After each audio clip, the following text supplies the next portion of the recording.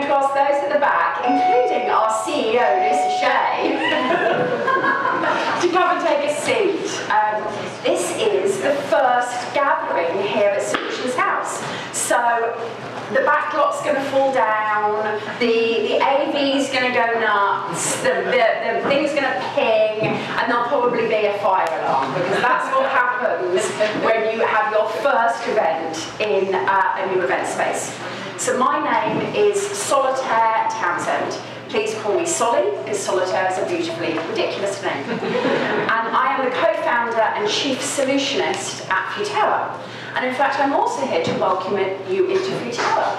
Because when this beautiful space that we're all in right now is not an event space, it's not Solutions House, it's filled with desks and with chairs and with busy people working away. Because this is actually Futerra's office. So I want to thank all the Futerrans for giving up their office space to us this week for Climate Week. Now, with the Exponential Roadmap Initiative and with Google, we decided to host Solutions House during what's already an incredibly busy climate week with the motto of answers only. And we decided to focus on answers only, which by the way is a sort of reminder, not a rule. We decided to focus on answers only because it's 2022. And considering where we are in 2022, we need to look at the problems for only long enough in order to invent solutions. Because if we spend too much time looking at the problem, perhaps we won't have the energy to do the answers that need to be done. Now, a few housekeeping points before we go on. I'm going to make sure I get these right, being as with a haste.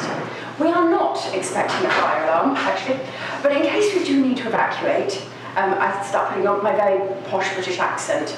Please do take the stairs, which are here and at the back, down to the ground floor, and then the exits will be here and here. we'll meet at in front of the building if we need to, so please do not take the lifts, do, do please do take the, um, the stairs if needed. There are two bathrooms towards the back here on the left. One of them is an accessible bathroom. Now, one of the things which really annoys me when I go to events is like them being a bladder marathon and not feeling that you're allowed to stand up whilst there's, whilst there's speakers going on. Please, respect the human, use the bathrooms. There are white noise machines back there if you need them. So let's, let's make sure that Solutions House is a welcoming place for human beings. If you need help, there's people wearing the Answers Only t-shirts. Please do ask them for any help or chat to them. They're very lovely people. Um, and there should be Wi-Fi dotted around.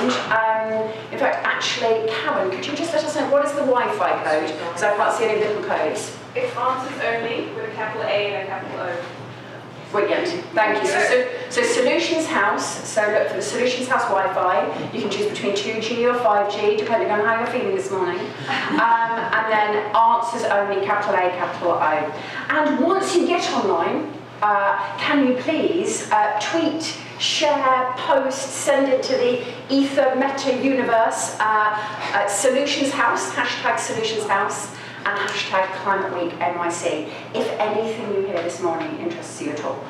Um, and we do have some cables and some ways that you can power up because solutionists uh, definitely need their charge. Now, this morning, we've got quite a morning for you because this is, uh, when we're talking about the solutions economy, and we're also going to be launching the 1.5 playbook. And it's my absolute pleasure to invite up to here to join us my co-convener, um, Johan Falk from the Exponential Roadmap Initiative. Hey!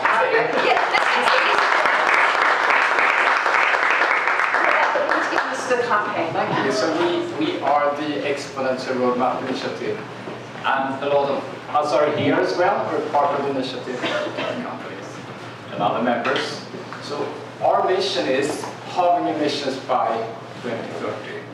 And doing that through exponential climate action and solutions. And we'll hear much more about that in our sessions coming forward. So Solly, I'd like to ask you a question. Why is the solutions economy coming up as an idea? Thank you so much. Can you tell that we rehearsed this? Thank you so much for asking, Johan. I wasn't expecting that question. Um, uh, so, as we, were, as we were working on the idea of Solutions House, we were like, actually, this needs to be a bigger idea than just solutions are cool. Like, solutions are cool, but we need to be thinking actually less about individual atomized solutions and more about an integrated system of solutions. Um, now, Futerra, we're a change agency. So half of what we do is what we call uh, logic, where we work with our clients to set big goals and big strategies with folks such as PVF and, and Netflix and Google and others. And half of what we do is magic, and that's the storytelling and the marketing of sustainability. And for me, this, the idea of the solutions economy sits halfway between. The solutions economy is both about the systems and structures within which we are going to solve these issues around climate change and, and particularly around climate justice. And also the story we're going to tell ourselves whilst we do it. Because if we just have the structures without the story, it's only ever going to appeal to 80 people in a room. And if we just have the story without the structures, well, that's greenwash. So uh, right now, the economy that we are in has got a whole set of logical inconsistencies within it, which we all know.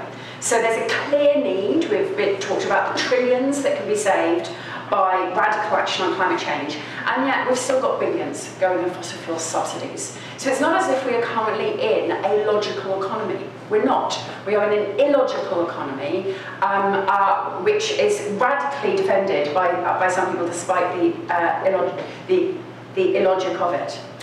And that illogical economy is already beginning to sort of pull at the seams a little bit.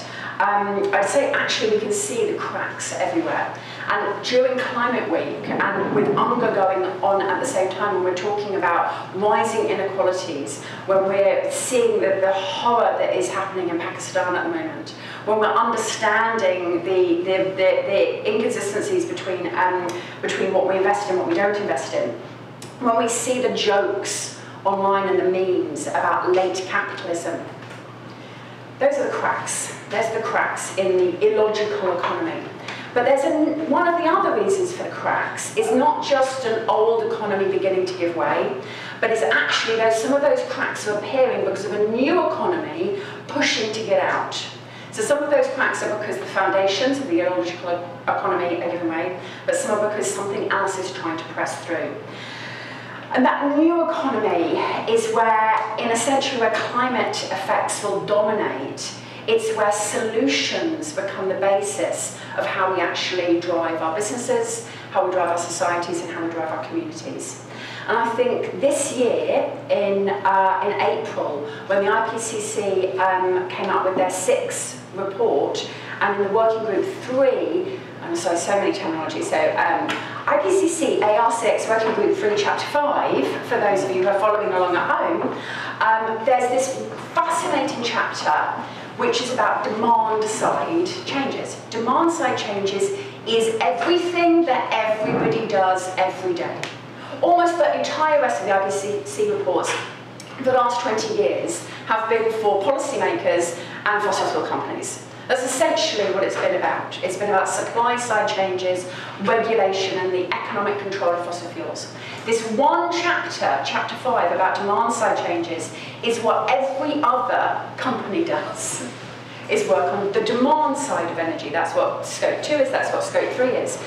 Demand side energy is what every single one of the seven and a half to eight billion of us do. We demand energy. We use it in our homes, in our travel, um, in how we live. And so by recognising the need for this demand side change, I would argue that the IPCC is focusing on a new solutions economy because the solutions economy will be built by making money out of demand side changes. It, the solutions economy will be built about actually creating value by reducing demand.